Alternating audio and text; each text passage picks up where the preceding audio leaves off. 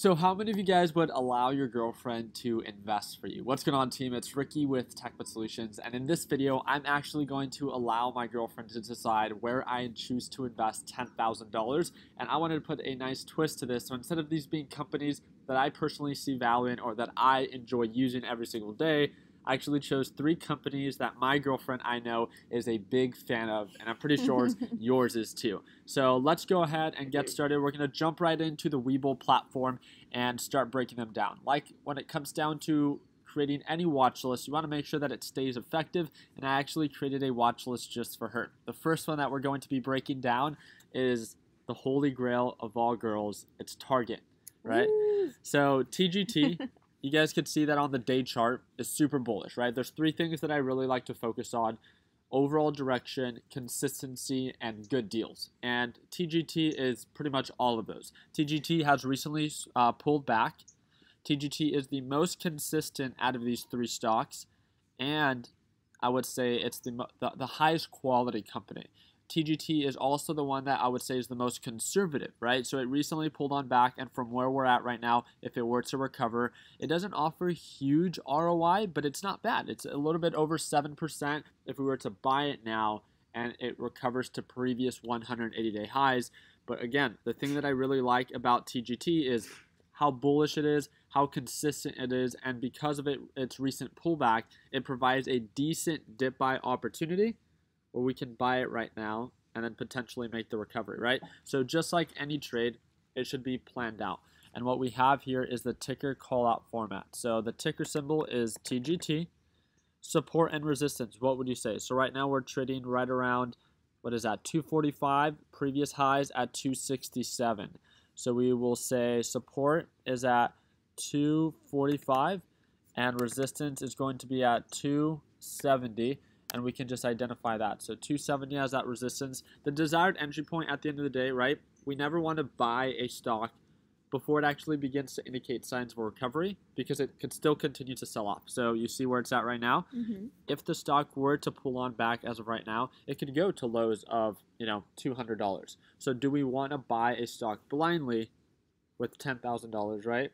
And then and this right- is considered a conservative stock because it's above that what is that one called again? The green one? Moving average. Moving average. Yeah. So this green line right here is the moving average. The blue line is the uh, EMA. So it's the exponential moving average. So gotcha. uh, at the end of the day, the uh, MA or the SMA is a great indicator uh, for overall direction. So we can see that the stock as of right now, so that's great that you pointed that. As of right now, the stock is showing signs of it being bullish, making higher highs, higher lows, and at the end of the day, you want to make sure that you put your money in areas that are showing signs of growth. So this yeah. is why I thought that this would be, you know, not only a fun stock that we can talk about, but also a company that, you know, did recently pull on back that provides a decent opportunity. So from the entry point, I would say that we'd have to wait for the break above the EMA line, which is right around 253. So we can set that as 253 and the exit right around that 270 or 267 area. When it comes down to stop loss, we always uh, need to take that into consideration. I'd say if it drops below 240, we have to make sure that we manage and mitigate our risk.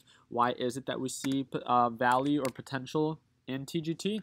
Is due to its consistent pattern and recent pullback.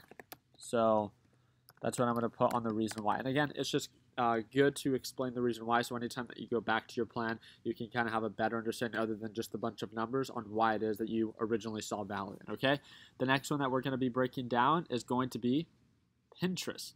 When it comes down to your work, right? Mm-hmm. Um, Pinterest is an application that you use very often, uh, which is why I thought we would talk about it. Now, Pinterest, out of the three stocks, is the highest risk, but also one of the most rewarding yeah. stocks if it were to make a recovery. So Pinterest recently sold off due to earnings. And would you say it's risky because the two the like lines are switching?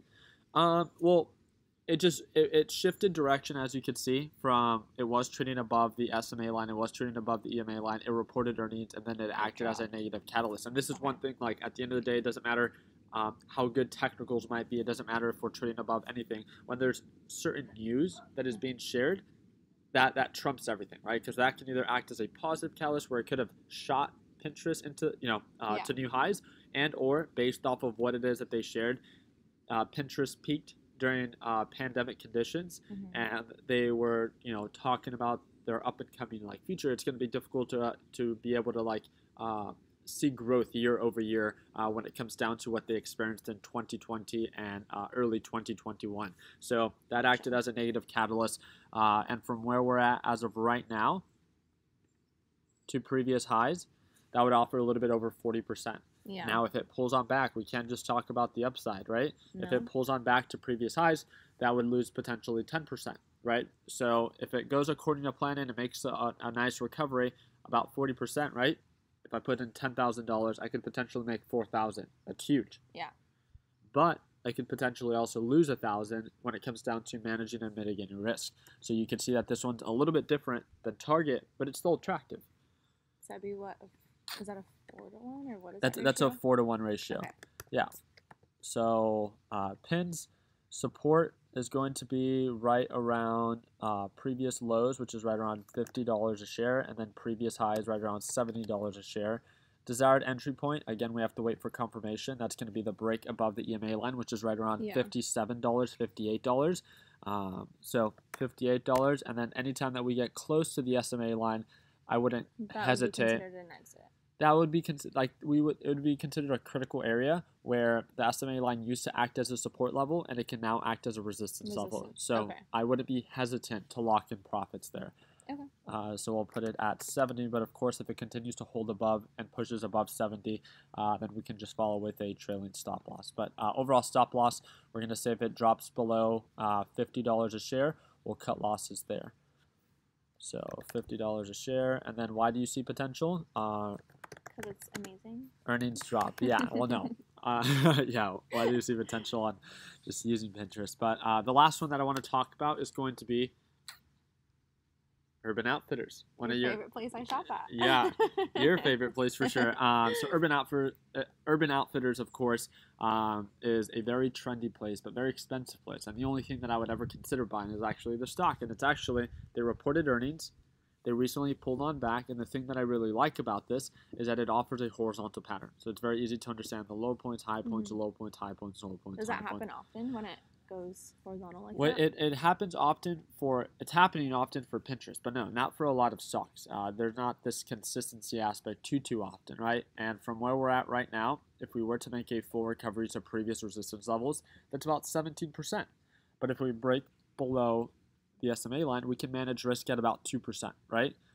So let's go ahead and set up our plan. So this is going to be urban, right? Support is going to be $35 a share, and then resistance is going to be $40 a share, right? mm-hmm. When it comes down to desired entry, let's say $36, desired exit, let's say 40.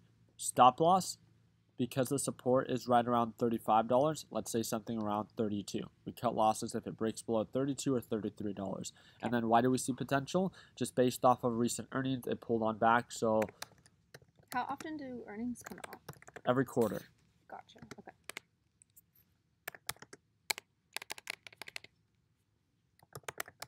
All right, there we go. So the really cool thing about this is um, every quarter a company releases its earnings. Based off of that quarter and based off of expectation, uh, it's one of my favorite times to trade. Uh, it's one of my favorite time of the year to trade. Yeah. Not that I like holding during earnings, but the stocks that do pull on back, there's companies like Amazon, right, that have recently pulled on back. But also, not all stocks or companies pull on back during earnings. Some of them actually do, you know, uh, do very well, report very better than expected earnings, and shoot up. Yeah. So I those feel are like I always hear you talk about earnings too. So yeah, it's it's I love focusing on good quality companies and getting them at a good deal. And when they release not as good as expected earnings, they tend to pull on back, which allows people like myself to be able to buy the dip and ride the recovery. mm-hmm. But all right, so we talked about Urban Outfitters, we talked about Pinterest, and we talked about TGT. We didn't calculate, um, or we did calculate the potential upside, right, for Urban Outfitters. So for Urban Outfitters, uh, from previous or from current lows, if it were to make a recovery, that's about 16%. So if I put in $10,000, that would be about $1,600 in potential profit versus, you know, a 2% downside, which is about $200. So I would say Okay. in comparison to the three, we have TGT, which is more of a two to one ratio, where It's not the best, but it's also the most conservative. It's the most consistent. Yeah. We have something like uh, Pinterest. That's the highest risk, highest reward. That one's a four to one ratio, which definitely isn't bad, right? Very attractive, but a lot more risky. And then when it comes down to Urban, this one is a 16 to 2. So we'll just do an 8 to 1. Okay. Well, since I don't trade, automatically my mind goes to Target Yeah, because it's a little bit more conservative. of course. Um, but since it's not my money, I'm Oh. like, let's take a risk. No, I'm kidding. um, I feel like I feel like I want to choose Urban Outfitters just because you know, it started going straight and it's getting ooh, relatively closer to that line. So when it starts to show an uptrend, that's when we would want to do it, right? Yeah. So as of right now, a lot of them are still pulling on back, right? Yeah. Uh, they're still not trading above uh, the EMA line or indicating signs of recovery. But I do have to say, yeah, Pinterest is probably like a, a good in between. It's Yeah. not as conservative as TGT, but it's also not as risky as Pinterest. So it's a nice in between. It's a very consistent pattern, and it's the lowest risk in the sense of if I put ten thousand dollars and with that tight of a stop loss right around thirty three dollars, I really only have about two to three hundred dollars Yeah. at risk when I have the potential to make you know sixteen hundred dollars. Yeah, And the other one's the potential to lose is a lot greater, right? of course. Yeah, Yeah. on that uh, Pinterest, I would Pinterest, potentially yeah. lose about twelve hundred to fifteen hundred dollars versus make on this one that much. But on Pinterest, I also have the potential to make four thousand dollars. So high risk, high reward. But I do agree with you. Urban is uh, one of the better. Um, I'd say the better of the three as it's conservative, but not as conservative as TGT. It at least allows us to make the trade a little spicy. Okay, so are Alright. you ready to